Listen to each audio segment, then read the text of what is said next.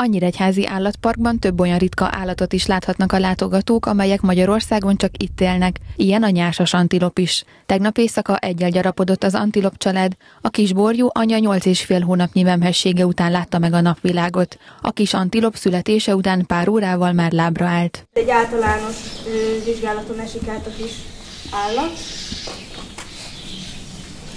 Ezt követően is még visszaengedjük az anyjához, hogy tudja szoktatni, illetve gondozni.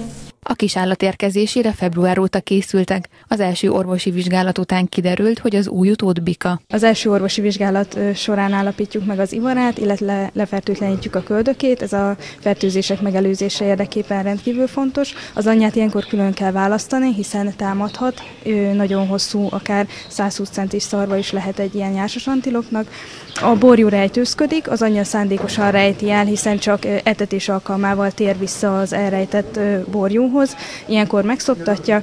Az orvosi vizsgálathoz tartozik továbbá még, hogy megnézzük, hogy szopott-e az állat. Ez valószínű, hiszen a gyomrában is érezhető egy valamilyen teltség, a szájában is látható tejmaradvány, illetve az anyának a tűgyén is látható, hogy szopott valószínűleg.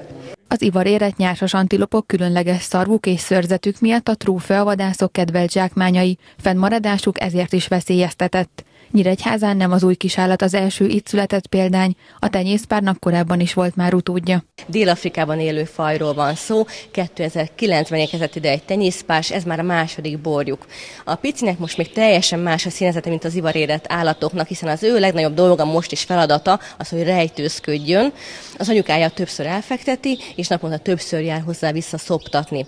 Ha megnézzük a hímet és a nőstény ivarérett állatot, akkor látható, hogy teljesen más a szarvuk, hiszen a hím hímnek vaskosabb és rövidebb, míg a nőstének sokkal hosszabb. A most született antilopnak egyenlőre még nincs neve. Az állatparkban Bonából egy hónapig nem ad nevet az új kisállatoknak.